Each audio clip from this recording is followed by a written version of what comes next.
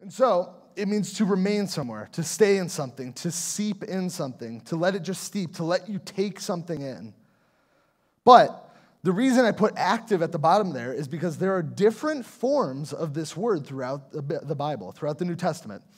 And this specific one that's used here, the form is active. You guys are probably like, I have no idea what you're talking about. That's okay, I barely do too. So we're all right, we're on the, we're on the same page. Um, but active, what that means is that when you remain, when you stay, when you reside, when you abide, that means you are actively doing it. You're not just passively letting something come to you. You're not just like sitting there and letting it come in and like you're not just taking it in. But instead, you are actively pursuing something and you are actively putting your life in the context of something else. And so we are talking about abide in Christ. So you are actively putting yourself in the context with Christ. You get, we get to participate with Christ because of his work on the cross. And that looks different for us now. If you're a Christian in this room, that looks, this is what it will look like. That's what we're going to be talking about, is what it looks like to abide. And so today, when we look through verses 1 through 11, we are going to be seeing what it looks like to pursue Christ, to live for Him fully, and to give evidence that we are living for Him. And so, what we're going to do is this, this is a pretty long passage. It's, I want to read through the whole thing, so bear with me. It'll be up on the screens. We're going to read through it all and then we're going to break it down, okay? So take a look up at the screen. We're going to be reading verses 1 through 11. It says, I am the true vine and my Father is the vine dresser. Every branch in me that does not bear fruit, he takes away. And every branch that does bear fruit, he prunes that it may bear more fruit. Already you are clean because of the word that I have spoken to you. Abide in me and I in you, as the branch cannot bear fruit bear fruit. You get it? You see my shirt now? You understand? Oh, look at that. Wow. I, I actually lost. bear fruit by itself unless it abides in the vine. Neither can you unless you abide in me. I am the vine, you are the branches. Whoever abides in me and I in him, he it is that bears much fruit. For apart from me, you can do nothing. If anyone does not abide in me, he is thrown away like a branch and withers. And the branches are gathered, thrown into the fire, and burned. We'll keep going to the next slide. If you abide in me and my words abide in you, ask whatever you wish and it will be done for you. By this my Father is glorified, that you bear much fruit and so prove to be my disciples. As the Father has loved me, so have I loved you. Abide in my love. If you keep my commandments, you will abide in my love, just as I have kept my Father's commandments and abide in his love. These things I've spoken to you, that my joy may be in you and that your joy may be full. So there's a lot. There's a lot there that we're going to kind of dig through, but there's going to be a lot of like metaphorical language. So all those people that like plants, you see all that vine and branches stuff, this is like yours, all right? This is for you. So we got to kind of define all the different parts. So the first thing is somebody is a vine dresser. So this is somebody that takes care of a plant. They, they take care of the, the branches, they will take care of the stem, they will make sure everything looks good.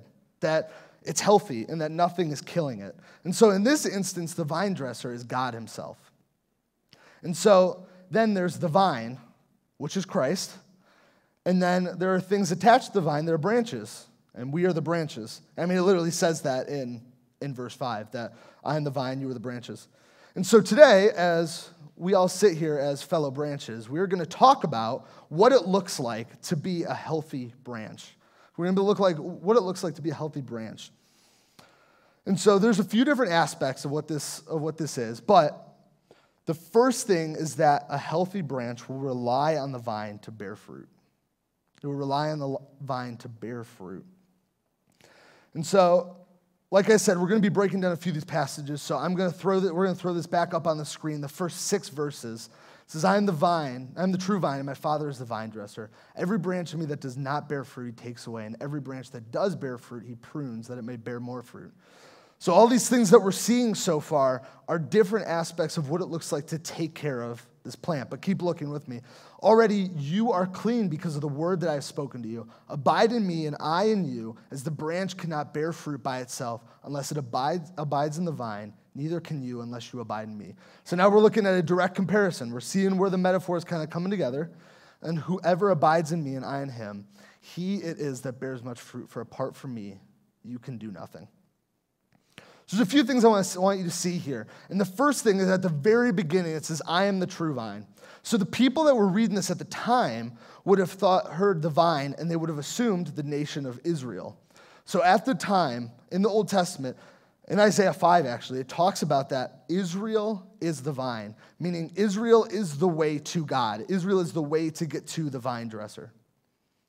But now, because of Christ's work and because of Christ's promise to us, the way that we can access God is through Christ. So it's no longer about Israel, it's no longer about being part of a nation, but instead, it is now through access to God through Christ through his work on the cross. He is the one that is able to bring us to God. And that's why he is the true vine. That's why Christ is the true vine. And he's pointing to his father as the vine dresser.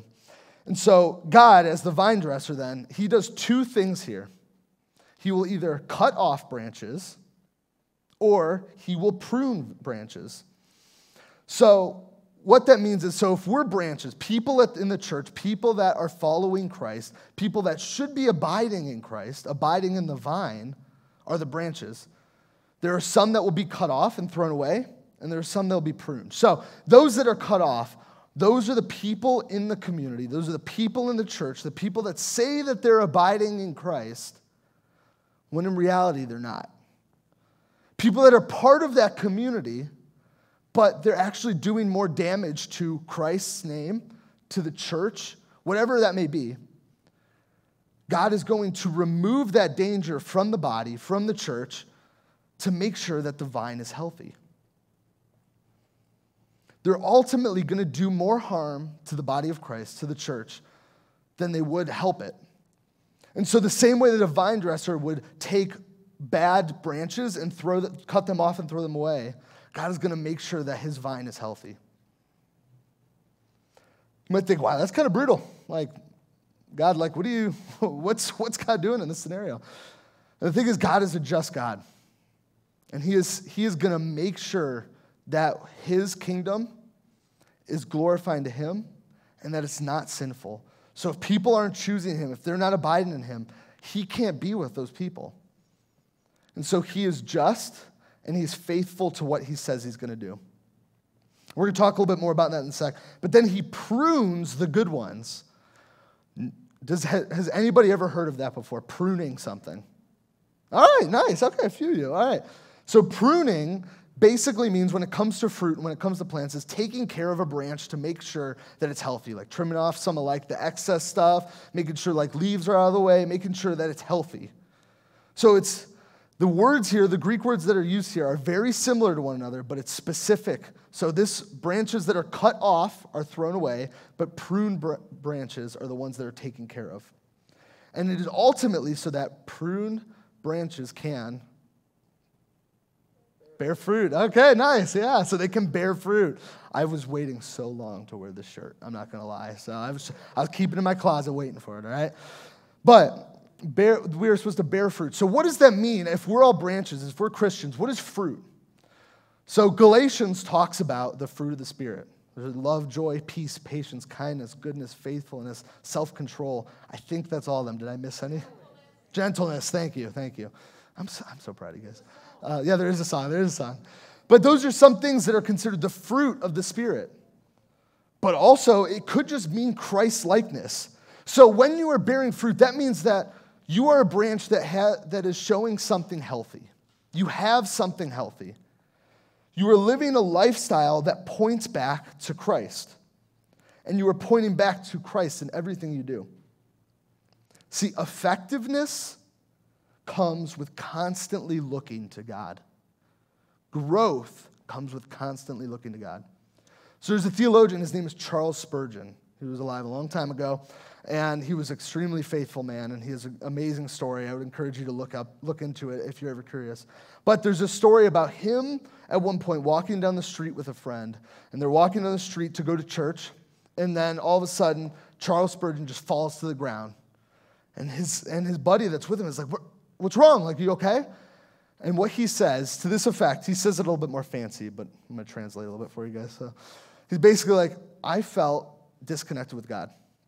There was a sin that popped in my head. There was a sinful thought that popped in my head, and it immediately made me disconnect with God, and I need to pray. I can't be disconnected with God. I need to pray. And that's what it means to abide. He's showing his fruit because he's going to prayer. His, his fruit is visible, but ultimately, he abides in God because he constantly looks to him. He doesn't want to be separated with, from him. And when following Christ, you're ultimately going to bear fruit. Because when you choose him over everything else, when you choose him when you don't want to, that's what it looks like to abide in the vine. That's what it looks like to abide in Christ. If you abide in Christ in the midst of hard moments, in the midst of hard decisions, you are a healthy branch. All right? The next thing is that the branch isn't separate from the vine. The branch isn't separate from the vine. It cannot be separate. So this is this is a little bit what we're talking about about some of those branches that get cut off and they're thrown away. So take a look up at the screen. It says, "If anyone does not abide in me, he is thrown away like a branch and withers, and the branches are gathered, thrown into the fire and burned." So it's like, dang, like so you're saying I'm a branch and I might be thrown in the fire by God. Like, what does that mean? So we talked a little bit about that. But the branch that does not come to the vine is not ultimately able to bear fruit. So if a, if a branch isn't fully connected to a vine on a plant, there's no life. It can't survive. It might survive a little bit, it might survive for a short amount of time, but there's nothing that's feeding it. There's nothing that's giving it life. And so, if we think of ourselves in respect to a branch, if we are not following Christ, if we're not abiding in Christ, if we are not bearing fruit, if we're not showing the fruit, our Christ likeness, what does that say about us? What does that say about your abiding in Christ? And see, this isn't about what it looks like to be saved. Like, this isn't about a process to have salvation or what that looks like. This is after people that have come to faith. Like, so the question is, not, it's not anymore like, are you saved or not? It's, well, it is, but it's not so much like, have you come to faith? But it is, are you living a life that is abiding in Christ? Are you living a life that is glorifying to Him? Because if you are not, if you are not showing that fruit, if you're not healthy, if you are not living, what that means is that he's going to cut you off from the tree and you're going to get bundled up and you're going to get thrown into the fire. You're ultimately going to go to hell. I mean, I, that's just as explicit as I can be. I want you to see that if you don't bear fruit, if you don't abide in Christ, if you say that you have come to saving faith and that you are following Christ, but you're not showing any fruit, take a hard look at what your life looks like. This is like people that come to gather on Sundays and they worship and they raise their hands and they come and they take notes and they have good table discussions. And then for the other six days of the week, life looks completely different. Life looks completely different. See, this is a call to abide. This is a call to abide to constantly be in the Word, to constantly be in prayer, to live a life that's glorifying to God. This is not a call to just be good whenever you can be, or it's not a call to like just, you know, like every once in a while, but it's a call to be better. Now, hear me when I say this. This isn't a call to perfection. Not yet, at least. One day we will be perfect and we will be glorified with Christ, but that's not right now.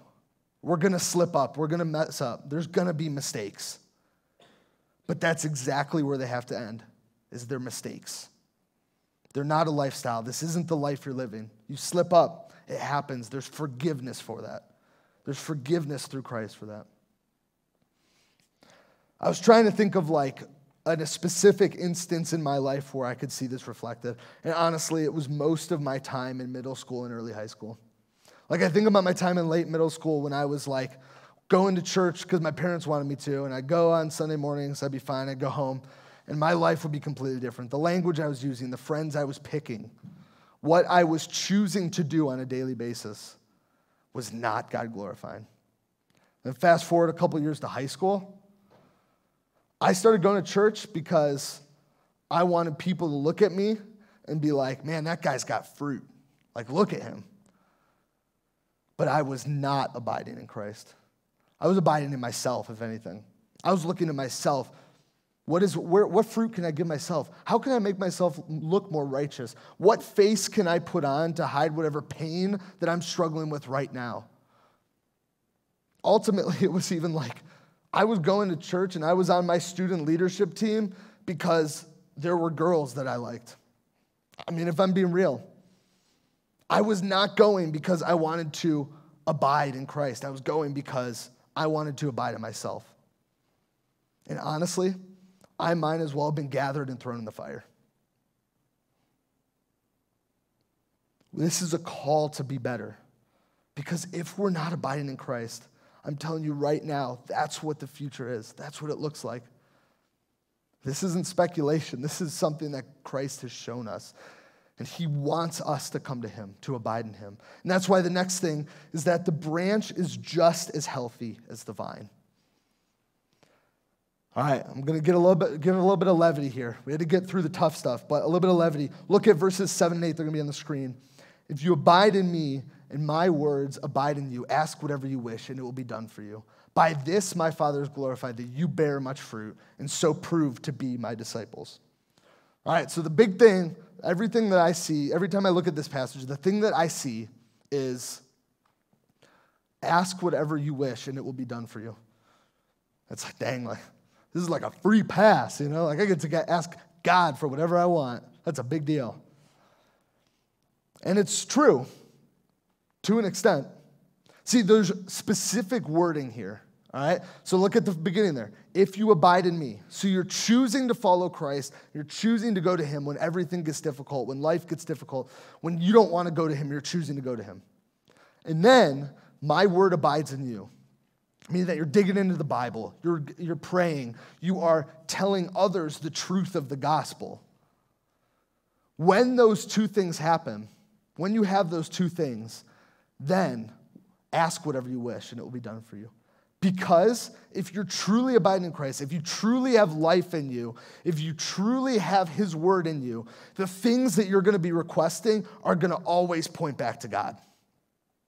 There's not going to be an instance where you're going to ask for something that is not God glorifying if that is how you are living your life, if you are abiding in Him.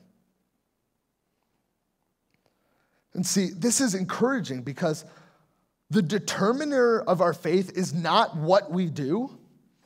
The determiner of our faith is because Christ gave his life for us so that we can be with him for eternity, so that we don't have to be bundled up and thrown in the fire.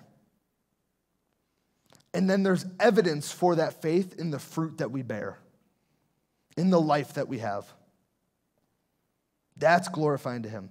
And so that's doing all of the stuff that we've talked about for the past few weeks in Alan's series, leveraging your social media for Christ. Whatever your passion is, whatever your drive is, leveraging that for Christ, leveraging your daily conversations for Him. Because you can't help but abide in Him and point others back to Him point people to Him. It's leveraging your daily actions for Him. See, as a branch, your health comes from the vine that you are abiding in. And ultimately, your fruit is going to come because of the life that that vine has given you. That's because the, the branch naturally bears fruit from the vine. The branch naturally bears fruit from the vine.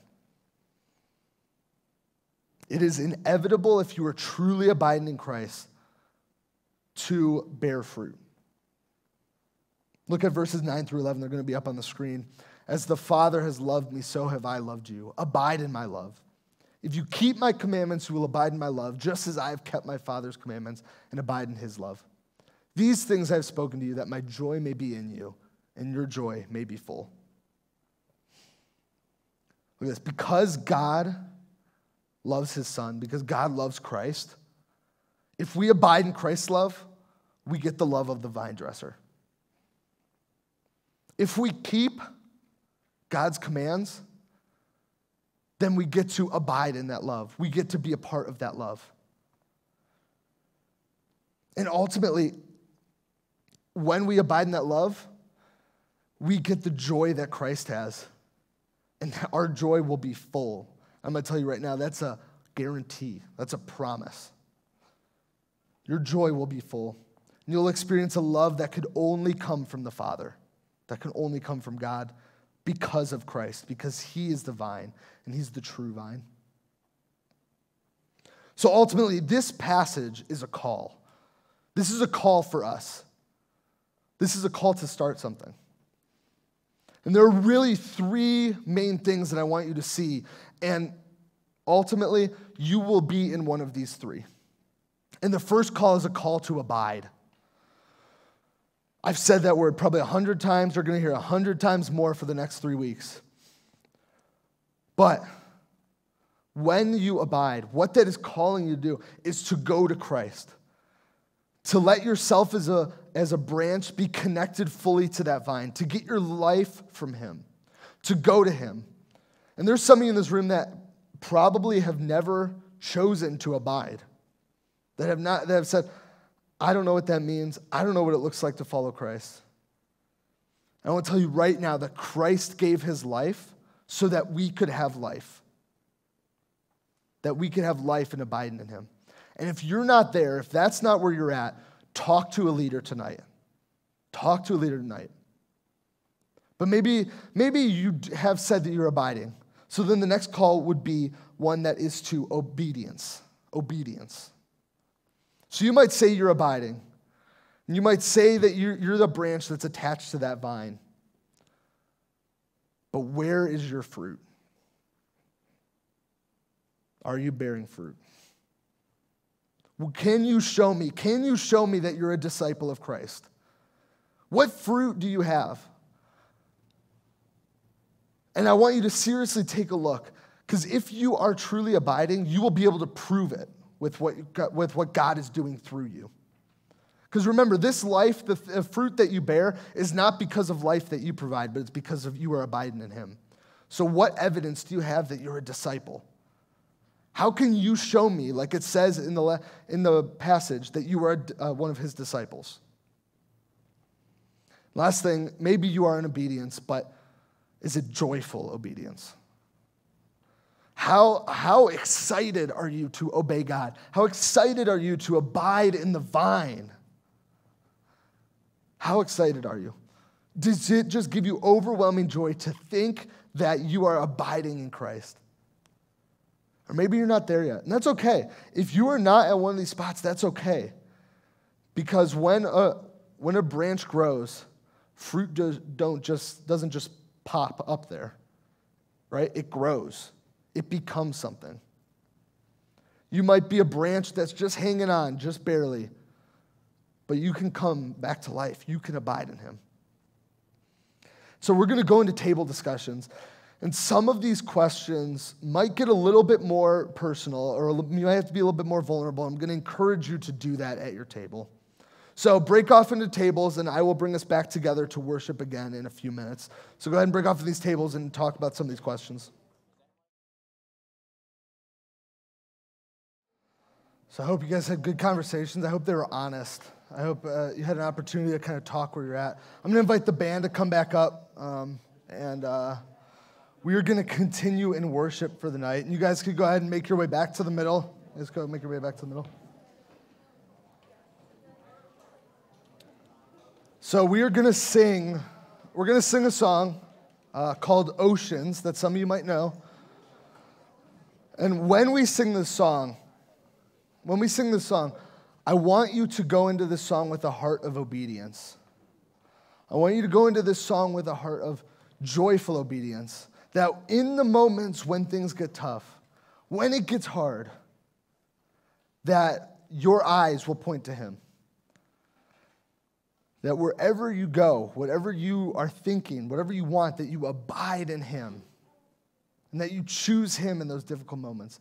So go into this song with a heart of obedience, obeying the commands that God has given us, what He has called us to do. So let me pray for you guys. Lord, I thank you for your word. I thank you for um, allowing us to go in and to see what it looks like to abide in your Son, to rest, to live there, to take Him in. And ultimately, that He gives us life so that we can bear fruit, so that we can look more like you. And so, Lord, in all that we do and all that we say, and as we worship you, let us worship with a heart of obedience that remembers your Son and his work on the cross for us. In your name I pray. Amen.